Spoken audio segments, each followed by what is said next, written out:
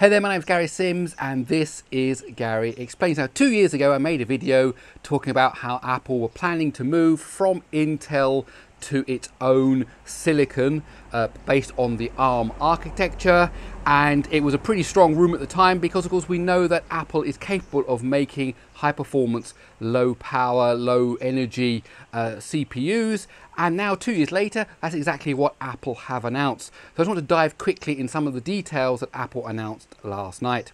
So if you want to find out more please let me explain.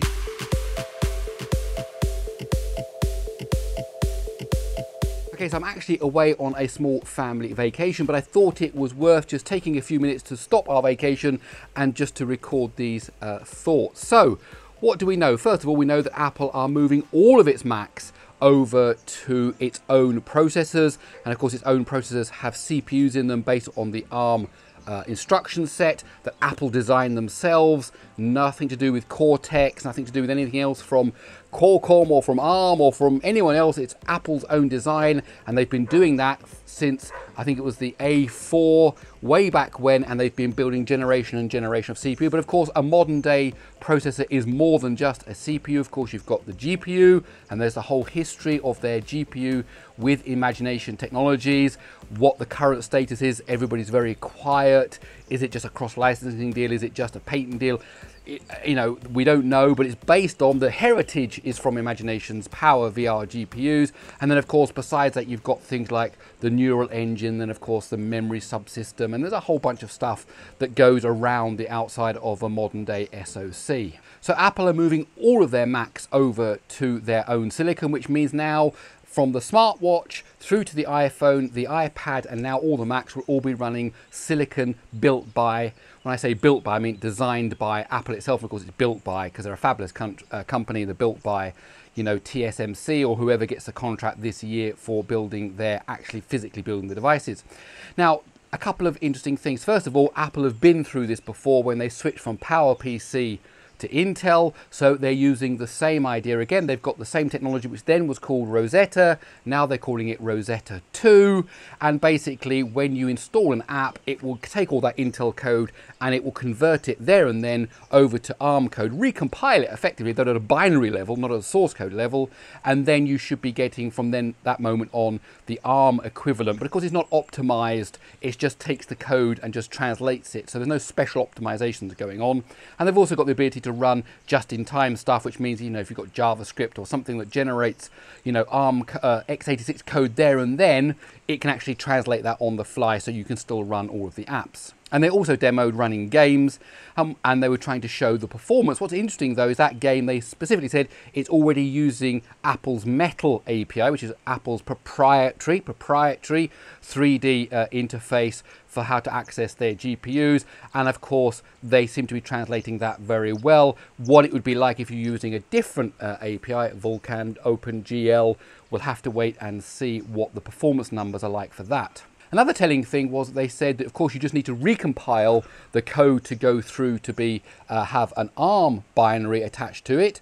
But of course they said in a couple of days. I noticed that they said it like two or three times in a couple of days, and I thought, well, surely if I've got a project and I just load it into Xcode and then hit the recompile button, why is it in a couple of days? So that's interesting. Is there something different that they haven't yet told us about? Or was it they were just being kind of generous to not say, you know, in five minutes, in 10 minutes, you know, it's done? Were they trying to, you know, just say, oh, in a couple of days you'll have your app up and running on the, uh, on the new system? They've also introduced Universal 2, which basically means you get a fat binary, which you can build an application. It's got the Intel code in it and it's got the ARM code in it. And then when you install it, it doesn't matter which system you're on. It says, okay, I'll run this version, I'll run this version. And that's called Universal 2. Apple also talked a bit about virtualization, which was quite interesting. But when they talked about virtualization, they talked about Linux and Docker. Nothing, of course, to do with Windows. Of course, in the past, when they moved over to Intel, they were, of course, uh, talking about the advantages of Intel because you can run uh, you know, uh, Windows stuff easier. Uh, in fact, there was even one time when they were claiming, you know, the MacBook was the fastest Windows uh, laptop. Obviously, that is going to kind of disappear with this shift over to the new architecture.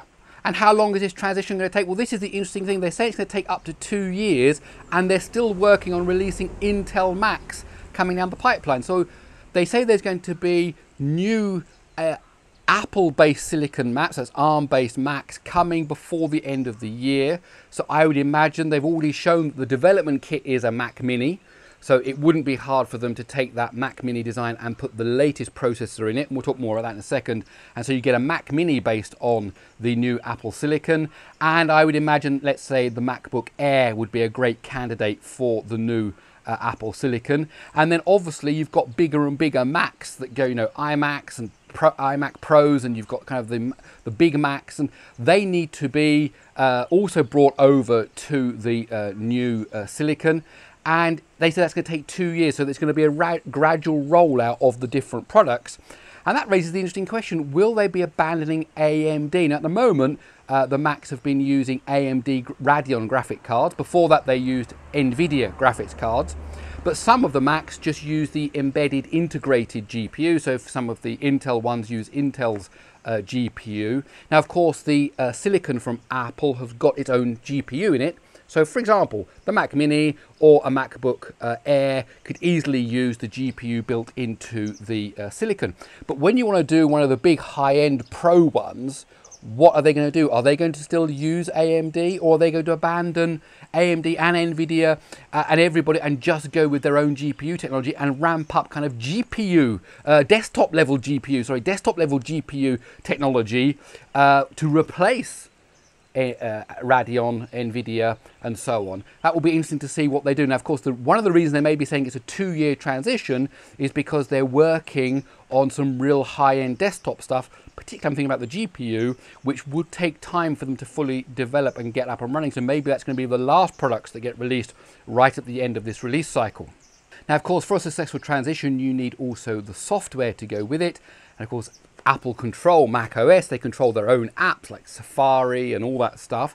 And they've also shown that Final Cut Pro has already been uh, developed and is working on the new base silicon and they're proud to show how fast it's running but also uh, Apple have talked to Microsoft and to Adobe to make sure things like Office and Adobe Suite are all running on the new hardware when it first comes out and they've demoed some of that and it all seems to be working quite well. So it looks like there's going to be this two-year transition where there is going to be some Apple-based silicon products, some Intel-based ones. They're saying they're still working on Intel ones that they're going to release. Uh, they're in the pipeline. Of course, that does raise the question, uh, would you buy an Intel-based Mac today? Maybe if you need that high power Mac that you're getting from the uh, current Intel ones, the Pro versions, then maybe you'd buy one and say, well, it's another couple of years, maybe another couple of years of support after that. Five year maybe investment, that's okay or maybe say, well, well, I'll wait and see. So it is a difficult time during transition to decide which way do you go. Ultimately, they will all transition over to Apple's new silicon. Now, they've been demoing this stuff using an Apple A12Z, which is the processor they launched just for the iPad Pro, based on the A12 with greater GPU power Obviously, we've got a new iPhone coming out, so that's going to have a new processor coming out in September, October, exactly whenever that comes out. And then, of course, that will be the new generation. And then we'll see, will they release simultaneously new generations of that processor aimed at laptops and at desktops. And what the naming will be we've had the you know like the the a12 i said then you had the a12x and then the a12z so when we move now to the a14 is it going to be the a14d for desktop or the a14l for laptop or the a14x again? Or the it'll be interesting to see how they do the naming. But basically we're not just going to have the a processor that you get now just in the iPhone and maybe a tweaked one to go in the iPad, well, they're going to be a whole range of these now because they have to meet these different use cases that the Macs use, right down from a laptop up to the big end ones. And again, they've said a two year transition because maybe we're not going to see the high end ones now. They are going to be 2021 or even 2022, and only now we're going to see the low end one, Mac Mini, maybe a laptop. It will be interesting to see how this unfolds in Apple's plans. Now, as I mentioned, there is a developer transition kit available. It's basically a Mac Mini with an Apple A12Z processor in it, 16 gigs of memory, 512 SSD, and you can get that, of course, with the new software and all the support you need from Apple to start developing apps for the new silicon. I did go online to look at getting one, but unfortunately it says the priority is given to people who've already got Mac OS you know apps in the uh, app store. Of course they're the people it's really aimed for. So i think my chances of getting one are pretty slim. So we might have to wait until apple actually announce an actual product uh, towards the end of this year and see if we can get hold of that. And it'd be interesting to compare that to, for example to the surface pro x which of course is also an arm based architecture processor in a laptop and then of course what Apple produces well. Interesting times ahead for everybody in terms of mobile usage and desktop usage. Okay, my name is Gary Sims. This is Gary Explains. I really hope you enjoyed this video. My thoughts about the uh, announcement from Apple. They're moving over to their own silicon, which is based on the ARM architecture. Okay, that's it. I'll see you in the next one.